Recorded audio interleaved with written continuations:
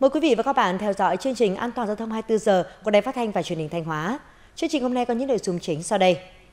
Từ ngày 21 tháng 5, Công an xã phường được quyền cấp đăng ký xe máy. Kiểm soát xe tải chở vật liệu xây dựng qua địa bàn huyện Nông Cống.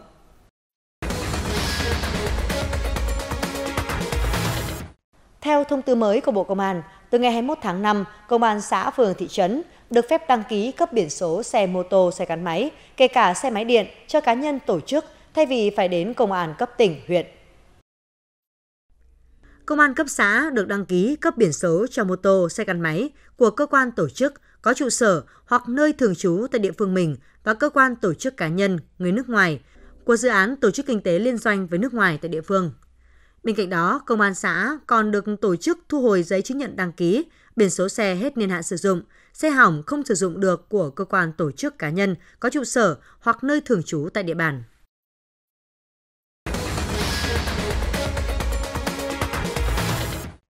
Thưa quý vị và các bạn, trên địa bàn huyện Đông Cống hiện có 17 mỏ khai thác vật liệu xây dựng. Trong số này, chủ yếu là mỏ đất được khai thác phục vụ thi công dự án cao tốc Bắc Nam. Thời gian qua, với sự chỉ đạo của chính phủ về đẩy nhanh tiến độ thi công cao tốc, các mỏ vật liệu cũng như các đơn vị vận chuyển đang hoạt động tối đa công suất phục vụ dự án đúng tiến độ, đồng thời đảm bảo vấn đề an toàn giao thông, vệ sinh môi trường. Có thể nói, Nông Cống đang là địa phương có lưu lượng phương tiện tải chứa vật liệu xây dựng lớn nhất hiện nay với hàng nghìn lượt phương tiện qua lại mỗi ngày. Không chỉ bởi chiều dài đường cao tốc đi qua, mà nhiều phương tiện khác từ các huyện lân cận cũng chạy qua tuyến đường Nghi Sơn Thọ Xuân trên địa bàn. Nên thời điểm này, tình hình trật tự an toàn giao thông trên địa bàn huyện Nông Cống vô cùng phức tạp.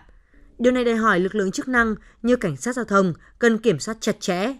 Để đảm bảo trật tự an toàn giao thông, vệ sinh môi trường, lực lượng cảnh sát giao thông, công an huyện đã bố trí một tổ tuần tra cắm chốt ngay điểm ra tại các mỏ nhằm kiểm tra kiểm soát các phương tiện, ngăn chặn việc chở quá tải hay cơi nới kích thước, yêu cầu các phương tiện che đậy kín thành thùng trước khi ra khỏi mỏ. Đồng thời, lực lượng cảnh sát giao thông đã tuyên truyền yêu cầu chủ mỏ, các chủ phương tiện, lái xe ký cam kết chấp hành nghiêm quy định về tải trọng phương tiện, các doanh nghiệp phải phun tưới, rửa đường thường xuyên nhằm tránh bụi bặm, đảm bảo vệ sinh môi trường.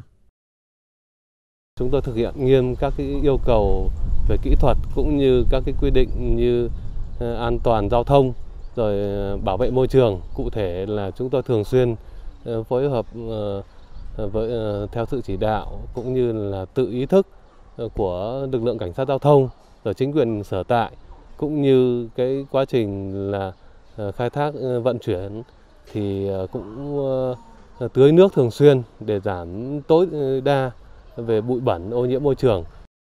Thực tế, với hàng nghìn phương tiện chạy qua mỗi ngày, không thể phủ nhận những ảnh hưởng về an toàn giao thông, đường xá hư hỏng cũng như vấn đề vệ sinh môi trường đến đời sống người dân khu vực. Tuy nhiên, nhờ sự quyết liệt của lực lượng chức năng, sự vào cuộc nghiêm túc của chính quyền các địa phương, những ảnh hưởng tiêu cực đã hạn chế rất nhiều. Điều này được người dân ghi nhận, chia sẻ và ủng hộ. Sau khi cơ quan chức năng, đặc biệt là các đồng chí công an huyện Đông Cống mà đã vào đây để mà cùng với địa phương để mà mà mà mà uh, chấn chỉnh cho đến ờ, thông báo cho anh em lái xe thì hiện tại là cái phương tiện qua đây hiện nay là cảm thấy là là tốt. Đương nhiên nó không bằng là là xe không qua.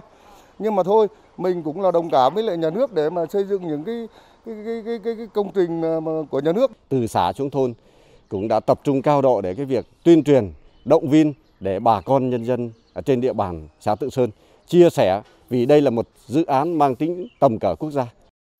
Dự án cao tốc Bắc Nam là dự án trọng điểm của quốc gia. Trong quá trình thi công phục vụ dự án, không tránh khỏi việc ảnh hưởng đến đời sống của những người dân xung quanh. Do đó, cần nhất vẫn là sự đồng lòng ủng hộ của nhân dân để dự án hoàn thành đúng tiến độ. Song song với đó, chính quyền địa phương cùng các ngành chức năng cần thường xuyên phối hợp với chủ mỏ, lái xe, làm tốt công tác vệ sinh môi trường, an toàn giao thông trong quá trình thực hiện. Quý vị và các bạn vừa theo dõi chương trình An toàn giao thông 24 giờ. Xin kính chào và hẹn gặp lại.